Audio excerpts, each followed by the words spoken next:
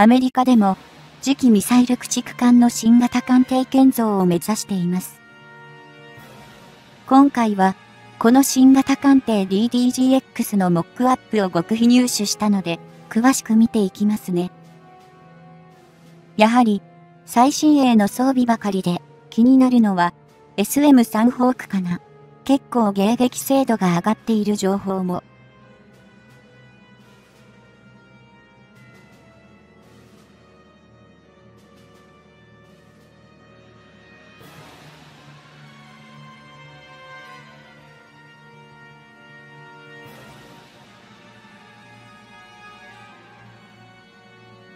2021年夏、アメリカ海軍は、現在の主力艦である、アーレイバーク級ミサイル駆逐艦を代替する新型艦艇、DDGX の開発プログラムを本格始動させ、2022年度予算から、この艦艇の開発費として約87億円計上させていた。これを受けて、この2022年1月12日に、新型艦艇 DDGX のイメージモックアップが公表され、いよいよ、同艦艇が具体的な開発フェーズに突入するであろうことを、世界の軍事関係者に向けてアピールすることになったと言えよう。今回発表された新型艦艇 DDGX のモックアップは、あくまでイメージであり、コンセプトを示したものだと解釈されているため、実際の艦艇でここで描かれたような形状が再現されるとは、まだまだ断定できない状況ではある。しかし、全体のイメージとしては、現行のアーレイバーク級ミサイル駆逐艦を若干シャープにモディファイしたようなデザインとなっており、全くの新型艦というより、どこか見覚えのあるフィルムをしている。艦首部分の上面は、かなり鋭角に絞り込まれてはいるが、下部には大型のソーナーを備えることになるであろう現行同様のバウ形状が見られ、環境は現行よりも若干後方に移動されているようにも見えなくもない。兵装も現行と同様に、艦首に単装の手法が一機とその後方に VLS 垂直発射管が配置されている様子が伺え、環境を挟んで艦隊の後方にもこうした VLS 垂直発射管らしきものが確認できるが、これも従来からのデザインに近い。無論、完備部分にはヘリコプターの離着陸用の甲板とその格納庫らしき構造物も確認でき、艦を構成するデザインや要素については、イメージコンセプトだとの前提はあるものの、現行からの正常進化版だと思わせられる。こうした点では、アーレイバーク級ミサイル駆逐艦の後継艦として計画、建造されながらも、その先進的すぎたステルス形状のデザインや、兵装などに新規軸を盛り込みすぎ、コスト増と安定感を欠いたズムウォルト級からの反省が垣間見える。何しろ、2011年から建造が進められたズムウォルト級駆逐艦は、計画開始時点では30隻以上の建造が見込まれていたが、建造費の高騰から次第に下方修正されていき、最終的には、わずか3隻の建造で打ち切られる浮き目を見たからである。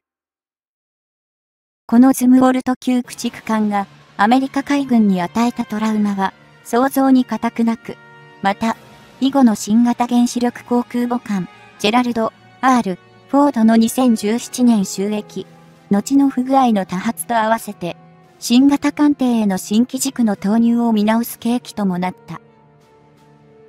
ちなみに、航空母艦、ジェラルド、R、フォードは、2021年中に、ようやく、電磁式の新型の並走搬出用のエレベータのすべての稼働が可能となったとされ、実に、収益から5年の歳月を経た今年2022年に、ようやくの実戦配備が可能とめされている。こうした新型艦艇導入においてのアメリカ海軍のつまずきは、世界最大規模で、かつ予算も潤沢な同軍であっても、いかに新たな技術やコンセプトを、机上論ではなく、実際の運用で計画通りに進めることが困難かを図らずも示したと思える。それでも、今回の新型艦艇 DDGX では、今後の水上戦闘艦のあり方を占う装備が見込まれており、この代表例と言えるのが、大きく、極、超音速滑空ミサイル、HGV とレーザーによる指向性兵器の搭載だと見てよいだろう。極、超音速滑空ミサイル、HGV は近年開発が進められている。その名の通り、音速の5倍以上の高速度を誇る兵器であり、先端の弾頭部には、自ら推進するエンジン等はなく、空中をグライダーのように滑空しながら、目標に向かう。アメリカ海軍が、艦艇搭載用に、開発中の、この、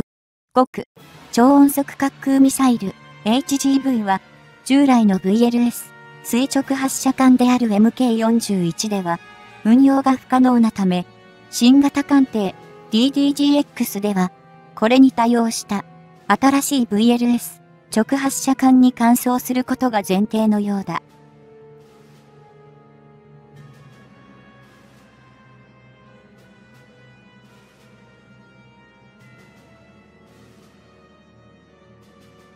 その場合、現行の MK41 の VLS 垂直発射艦であれば32セルとなるのに比して、新型の VLS では12セルと大幅にセル数自体は減少することから、新型艦艇 DDGX は任務に応じてこれらの搭載の可否を選択するものと輸送される。ちなみに、極、超音速兵器の分野では、中国やロシアに先行された艦が大きかったアメリカだが、同国のロッキード・マーチン社は、多度改良型の改良版である、ダートや PAC3 の改良版にあたる、ワルキリーを開発中だ。また、同様に、レイセオン社は、SM3 の改良版である SM3 ホークを、そして、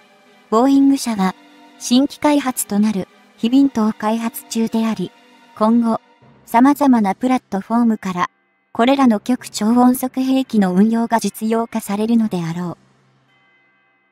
話は、戻って、新型艦艇 DDGX のレーザーによる指向性兵器についてだが、艦の前方に 150kW 級のものと、後方には、さらに、その4倍にも相当する出力の 600kW 級のものが搭載可能だと説明されている。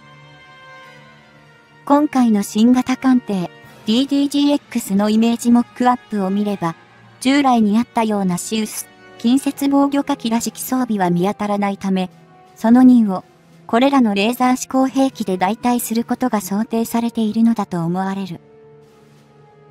こうしたレーザーによる指向性兵器は、もちろんのこと、搭載するレーダーセンサー類にも、膨大な電力を必要とすることから、新型艦艇 DDGX は、ツムウォルト級にも搭載されていた IPS、統合電気推進方式の機関が採用される模様だ。IPS、統合電気推進方式は、艦艇の推進力としての電力と、レーザー等の指向性兵器等の並走用、及び、艦内で必要となる電力を共用で供給するもので、ズムウォルト級では、ガスタービンによる発電機が搭載されている。ズムボルト級では、最大出力 35kW 相当の大型発電機2機を主電源に用いると同時に、補助電源用にも、最大 3.8kW の出力の発電機を2機備えており、現在は中止されたが、大電力を要するレールガンの使用にも対応可能だとされていた。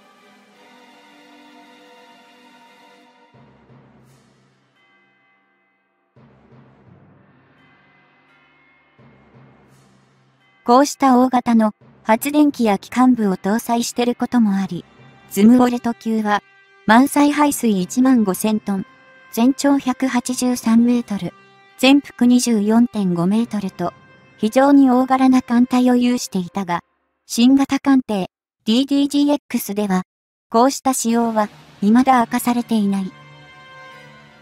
アーレイバーク級ミサイル駆逐艦の最終型である、フライト3は、2023年から収益が計画されているが、満載排水9700トン、全長160メートル、全幅は未定だが、20.27メートル以上となると見込まれており、新型艦艇 DDGX はこれよりは大型化するのだろう。